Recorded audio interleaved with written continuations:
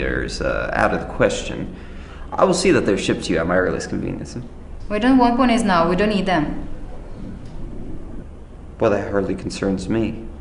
Your father paid for those five ponies, and there is an end of it. I have the bill of sale.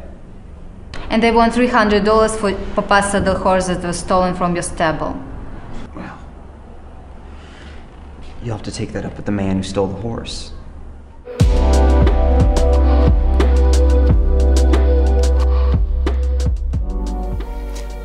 To talk to you.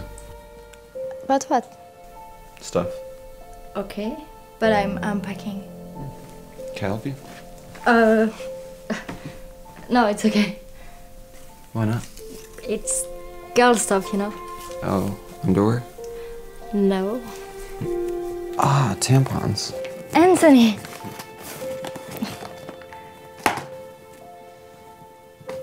So, what did you want to talk to me about? Where'd you meet my brother at? At a party? Oh. So you fell in love with him?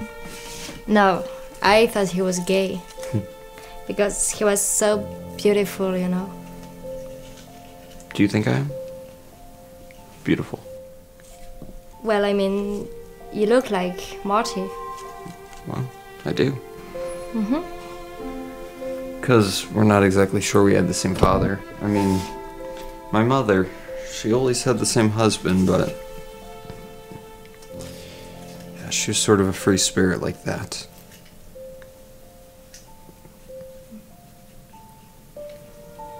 How old are you? 23.